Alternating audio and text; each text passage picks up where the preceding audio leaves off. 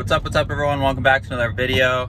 Today I got a few things I'm doing and talking about. First, I'm going to get a mattress and do a little small mattress removal job. Bring that back to the house. Then we got to go pick up a trailer rental that I rented out yesterday. And then we're doing scrap metal and that's going to be the base of this video. And I just want to talk about how scrap metal actually can be a pretty decent side hustle and especially obviously if you're in a, the junk removal business like I am you should be keeping your metal and keeping a pile in the backyard or somewhere where you can keep a pile of metal because it adds up. Realistically I probably get 50% of my dump fees in general like all my dump fees covered by how much metal I scrap especially with the prices metal is going down nowadays. If you're not in the junk removal business, you still can benefit from this video because there's tons of people out there that just drive around and pick up scrap metal off the side of the road. And I know they don't make a lot of money, but for like a 16, 17, 18 year old kid, that they, I know they make decent money for someone that age. So I don't see many kids doing it because I don't think they really know how to do it properly. Obviously, you want to scan Facebook and look for people that are listing free washers, dryers, um, ladders, like anything metal, and just drive around and pick up metal all day. And then maybe you want to contact some AC repair companies, uh, appliance companies, and ask them, let them know that you're picking up metal for free. And if you do that, you can definitely build up a clientele. I wouldn't rely on making this into a business or anything, but if you get a few like AC unit repair guys that will give you old AC units just to get them off their hands and you want to go pick those up for free. Those have copper in them, so you can rip those apart and make a lot of money from one AC unit. Not a lot, but, and you could still do this as an adult. It just, I wouldn't rely on it as a full-time job, obviously. It's a side hustle. Um, but yeah, scrap metal is definitely a decent way to make money on the side, especially if you, it's like pretty much passive. You can do it completely on the side by just driving to work and keeping an eye out for stuff on the side of the road because there's appliances, um, ladders, wheelbarrows, like there's always metal stuff sitting on the side of the road in front of people's houses. Metal chairs, lawn chairs, um, sometimes people throw out those like old metal tubs, like stuff like that. You just keep an eye out for that stuff and collect it as you're driving around doing your normal stuff day to day. And at the end of the month, say you have a pile of stuff 500 to 1,000 pounds, that's an extra 100 bucks here and there. It definitely is worth doing. And then if you actually want to put some effort into it, and like I said, scan Facebook every other day or whenever you want, um, call out to some AC unit people, and you can get copper and stuff like that added up in piles of copper going, then you're talking about some real money. Anyways, um, like I said, I'm gonna go to this mattress job.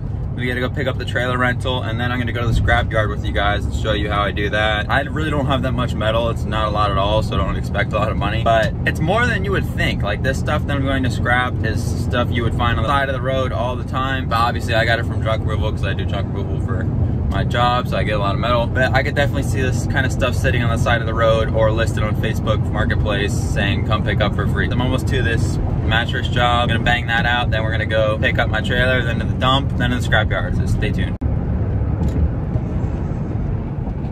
Nothing like living in Florida. I honestly just had the camera flip the wrong way just now, and I seen I was going over a bridge, and I was like, ah, that's a good moment to get a nice shot of the water.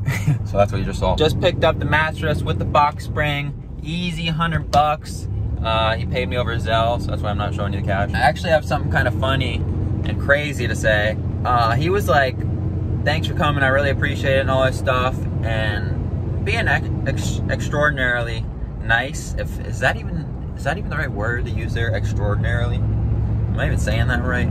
Anyways, he was being nice, and then he's like, all right, he's like, by the way, just so you know, um, the cheapest other quote I could find was $250. And I was like, like, what?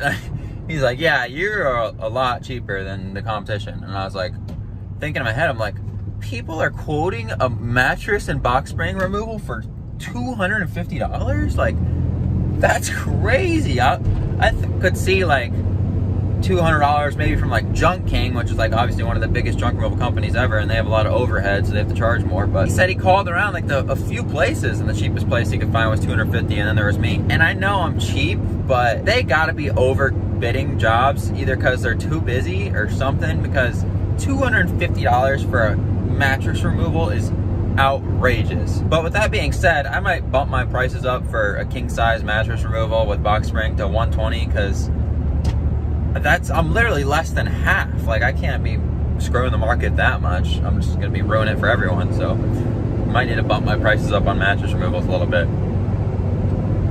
Um, but yeah, that went smooth. Easy 100 bucks. Is probably gonna cost me 10 bucks to dump.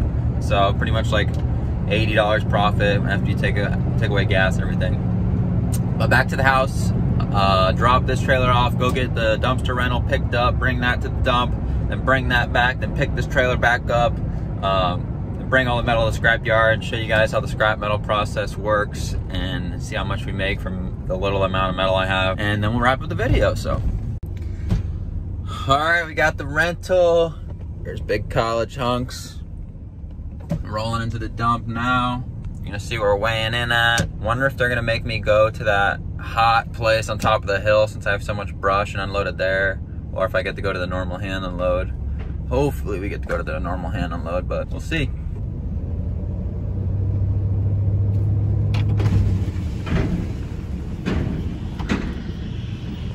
55 or 59.49 deposit.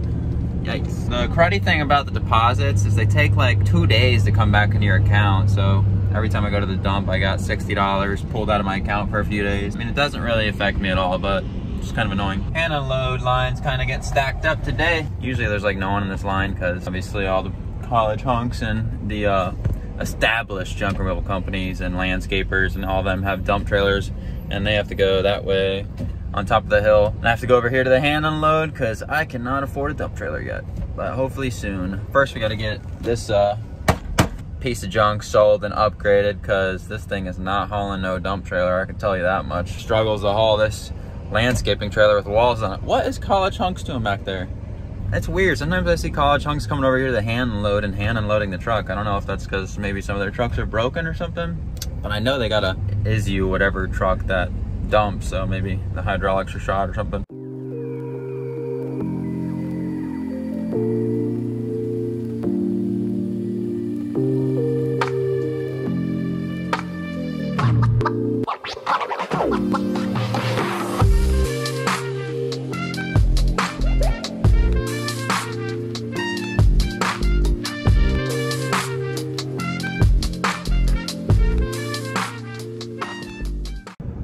Just finished up that load. It took a while, but all that stuff was jam-packed. Uh, look at this line for the scales. Holy, never seen it this long. All right, just finished up at the scales in the dump. It was $29 and some change, so not too bad. I charged 170 for the 24 hour rental, but it was really, I dropped it off at like 4.30 and picked it up at 11 a.m. They didn't even need it for a full 24 hours. So 170 bucks minus 30 bucks. What's that? 150? No, 140. 140 dollars profit on the rental. Then if you want to take out gas expenses, we can take out 20 bucks, even though it's probably an overkill. So 120 dollars profit on my trailer rental. Not bad at all. But like I said, that's not what this video is about. I'm gonna head home, drop this trailer off, pick up the one with all the scrap metal in it, and then actually go to the gym and park it in the parking lot where there's no cars, obviously, so I'm not taking up spots. Hit a quick workout. I'm not gonna record that. This isn't a gym vlog. But if you ever wanna see one of those, maybe I will, who knows. And then we're gonna hit the scrap yard. I would just like stack up a bunch of metal and then just go out like the end of the month, but my parents hate when I just leave junk all over the yard and we already have a crap ton of, crap ton of stuff all over the garage and the carport and the of the backyard. So every time I get a decent stack going in one of my trailers, I'll just go to the scrapyard real quick and get 30, 50 bucks, whatever I get for it. But realistically, if I saved all my metal from the month, I'd probably have a few hundred, if not 500 to a thousand on a good month where I get a lot of metal if I saved it all up, but I have nowhere to store it, obviously, so I have to go like every week and dump my metal. Gonna do that, then we'll be on the way to the scrapyard, so stay tuned for that. All right, change of plans. When I went home and dropped off that other trailer, my bigger one, and got the one with all the scrap metal in it, I brought it to the, gym. We worked out way longer than we thought we would. It was like an hour and a half workout and all we did was work out shoulders, but I'm following this new program. That's supposed to be really good. Then I got a phone call. Someone wants a pouch removed and I told them four o'clock. And like I said, the workout kind of dragged out longer than I thought it would. I thought I was gonna go to the scrapyard around three o'clock. And then after the scrapyard, just head straight to this job. But we ended up being at the gym till like 3.10. So I just pretty much just had to go home, drop the trailer off, all the scrap metal, and I'm just gonna bring just my truck to do this job. By the time I'm done with this job, um, the scrapyard's gonna be closed. They close at four. So we're gonna go to the scrapyard first thing in the morning. But hey, I'm not complaining. Um, if I get a job, I'm gonna obviously take a job over just going to the scrapyard. Scrapyard's not necessary, I can always push that off. But yeah, that's the plan, so I will see you guys in the morning. All right, goes Jerry. Uh, don't even think I'm gonna scrap that. This is what the metal pile's looking like.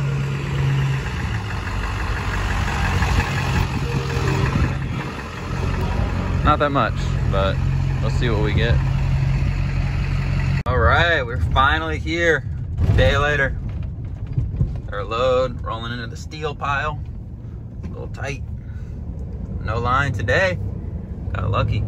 Only a few people.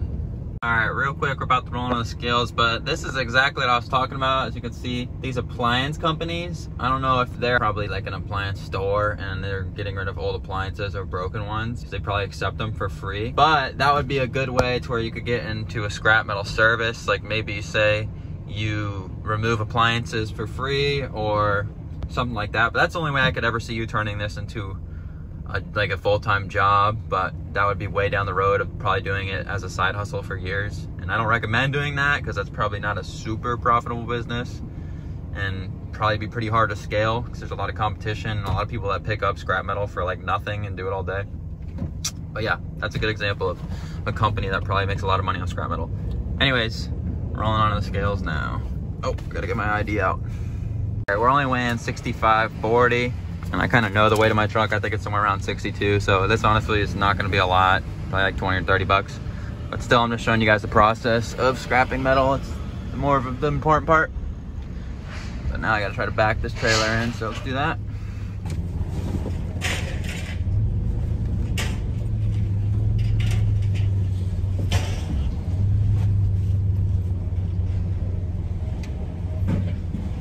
Not bad. An appliance company. But this is what we got. Nothing really. This tub super light. Even heavy.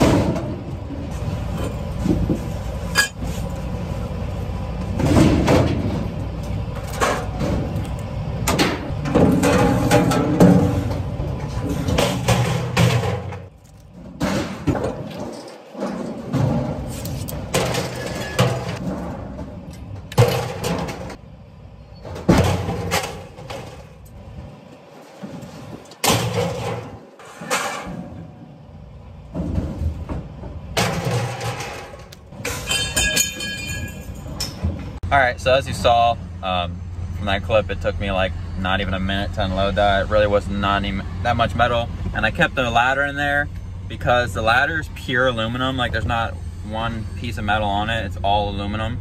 And when you have stuff that's all aluminum, like not even a, like one metal screw, because when you try to trade something in in the warehouse over there as pure aluminum and it has like a few bolts on it that are metal, they'll mark it as dirty aluminum and then you get like half as much money. But if you come with like straight clean aluminum with no paint on it, no metal screws screwed into it, which is usually like um, a screen enclosure around a pool, those are usually all aluminum. And if you take the screws out, you can get it as clean aluminum um, that ladder, aluminum sheet roofs, like stuff like that. They give you a lot for it. It's like twice as much as you get for steel. So when you get pure aluminum that doesn't have paint on it or any screws, definitely save that because that's like twice as much money as you get for steel. But yeah, we're pulling onto the scales now, waiting in line and see how much we get for that little amount of metal. I know it's not gonna be a lot. That that metal was like from the amount of metal I got from like two jobs. My dump fees are usually like 20 bucks and if you save up all your metal and scrap it, you can pretty much cover a lot of your dump fee expenses by just doing this.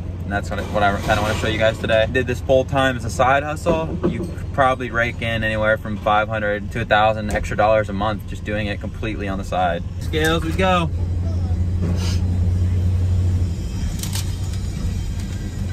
Wow, it didn't even make a noise when I transitioned from the pavement to the scale. All right, now my ticket pops out down here in this little blue box. Trying to pull away forward so you guys can see it. Not bad. 36 bucks. I hope y'all weren't expecting a lot. Honestly, that's more than I was expecting. I thought it'd be like 30. If you watch a lot of my videos, a lot of my dump fees are 15, 20 bucks. So two $15 dump fee loads, that covers two whole loads and just makes my each job that much more profitable. But I'll show you guys how I get my cash. Literally just pull over to this ATM. Super easy. Over here, that's what it looks like. You hit, it says press any button here. I don't know if you can see that. There's a little scanner. Scans it right there. And your money pops out right here. Is that right? There it is. Throw your receipt in there. Grab your cash. And I also forgot to mention while I see it, see these big, uh, I can't zoom in on this front camera. This big truck right here that's going on the scale. Those guys go around and pick up junk cars and I'm sure they got contracts with junkyards or stuff like that. They make serious money, but they're literally TMR, and that's what this place is called. It's called Trademark Recycling, and those are trademark trademark recycling trucks. I don't know how you get involved in that. I don't know anything about that, but I do know I see uh, we buy junk car signs all over the place. And my dump pays $10 a 100 pounds. So if a car is like 3,000 pounds, you're getting $300 for a car. So people are trying to get rid of junk cars. Maybe like there's a rotten, completely trashed car sitting in someone's farm or like sitting in someone's backyard. It's been there for years.